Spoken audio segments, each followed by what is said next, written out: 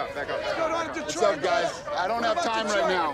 Dana, what's going on in Detroit? Dana, when will we see orcs fighting in the UFC? Never. Ever.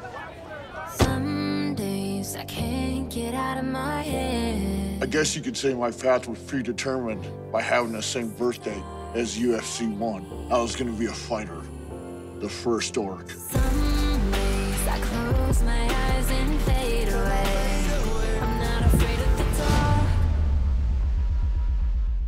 This is where it all started, right here in this gym. All right, set aside, set aside. Come on. Here we go. All I ever wanted to do was fight. But I was an orc. Different set of rules. So I went around all Vegas trying to find a gym to train in, and they all shut me out. No orcs allowed. I mean, we don't train orcs here. We train real fighters. I became a janitor at a gym. Then I met Matt Serra.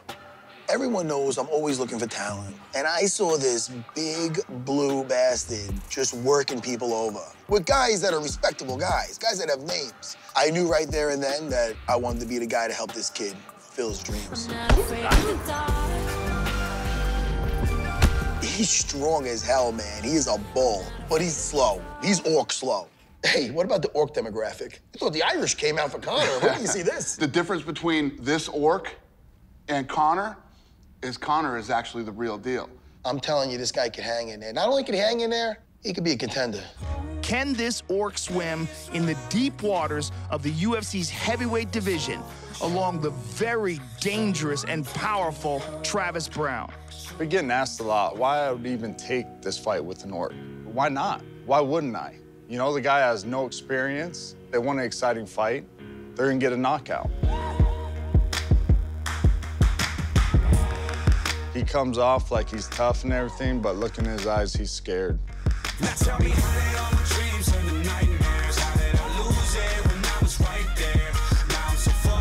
All the hard work is in. He's ready to go. Blue Carnage is ready for battle, baby. It's go time.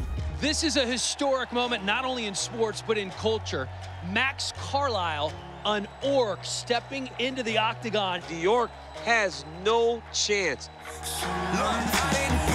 Ladies and gentlemen, it's time for the main event. Fighting out of the red corner, Travis Browne. Fighting out of the blue corner, making his UFC debut, the challenger,